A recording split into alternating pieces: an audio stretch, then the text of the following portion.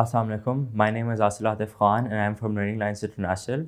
I'm in class DP2 and I'm taking the International Baccalaureate program where DP2 is basically A2. Today I'm going to be talking about my interest in computer science and graphic design and how I got into these. When I was 13 years old, I did an internship at Software House where I basically learned Photoshop and Illustrator.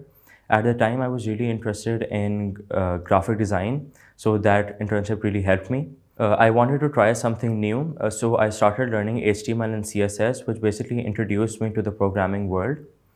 By the time I was 14, I got a scholarship from the Commonwealth of Learning Canada, uh, through which I could take courses for free on Coursera. If you don't know what Coursera is, it's an online platform where you can basically take courses about any topic that you are interested in. Other say I took courses about UX UI design, which is user experience and user interface design, which really helped me with my graphic design and my programming skills. In addition to that, I took a couple of uh, courses about HTML and CSS and a few about JavaScript. A couple of months back, I got my first phone and I was introduced to mobile gaming.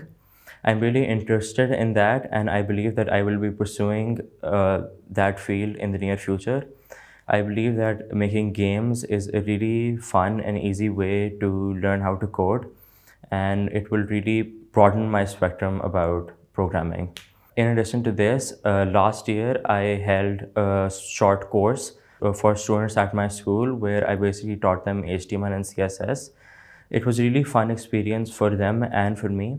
I basically taught them to make their own website. And I believe that I will be doing it again for less fortunate students who do not have the opportunities that someone like I have. I believe that uh, it is really important for students to go into the field of computer science and learn how to code as I believe that it is the future and it is vital to learn how to program uh, and code. Programming can open a lot of opportunities for students like freelancing. Websites like Upwork and Fiverr are really in these days and students can gain a lot of benefit financially and uh, professionally to work on a couple of projects. Uh, they can gain financial stability uh, through freelancing. And I believe that uh, in the modern day, it is very important to be independent.